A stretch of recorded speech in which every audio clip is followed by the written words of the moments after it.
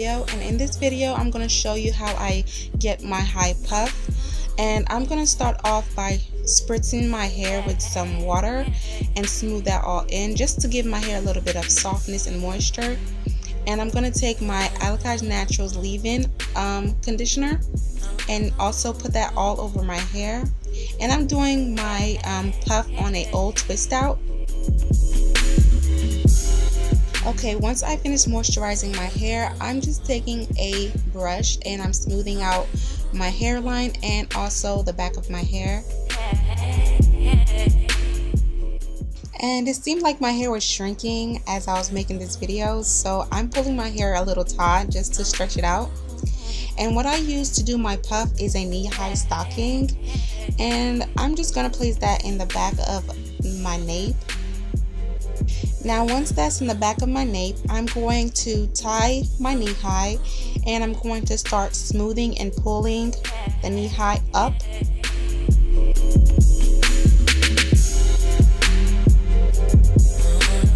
Once I get the knee high where I would want it, I'm going to start tightening the front and I place my thumb where I made the knot just so while I'm pulling my hair doesn't snag or get caught in between there.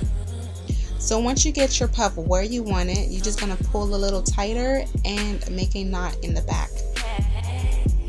Then all you got to do is fluff and pick just to give your hair some volume. And this is how I get my puff without any gel.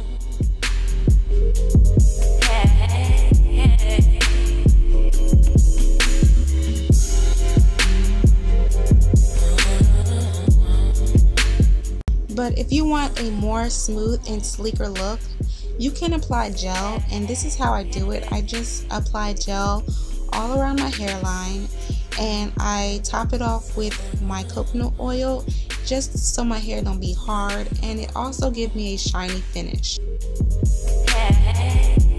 And of course you're going to follow up with the same steps as the beginning and smooth your hair out with your brush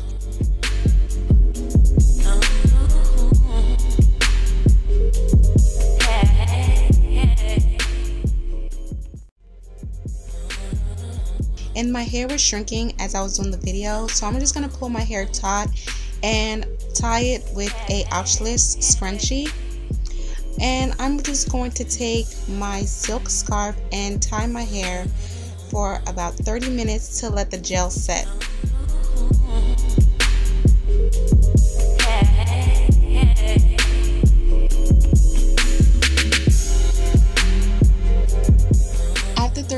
My hair is all set, the gel just give my hair a little bit more definition and shine.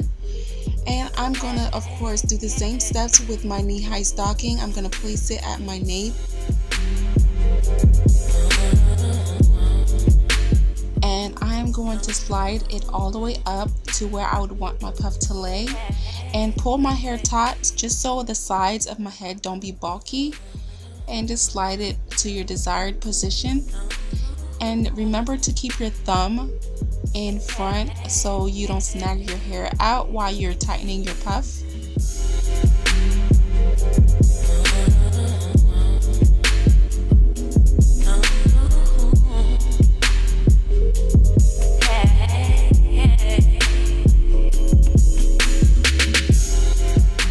Once you get your puff where you want it to be, you're just going to tighten up and make a knot at the back and tuck everything in. And next thing you're to do, of course, is fluff with your hands and with your pick to give your hair some volume.